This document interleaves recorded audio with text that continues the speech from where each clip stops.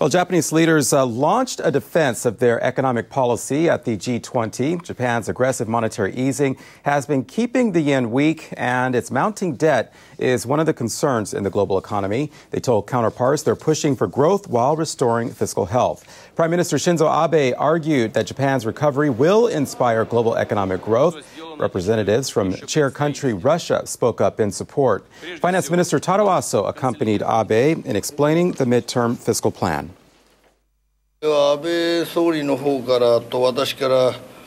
Prime Minister Abe and I explained Japan's plan to rebuild our fiscal health.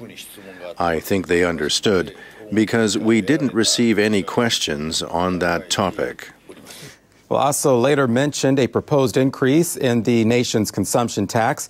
He said Abe will study the data and decide on the hike in early October. Leaders also discussed the state of the global economy. They've seen currencies plunge in emerging countries like India and Brazil on speculation that the U.S. could rein in its easy money policy.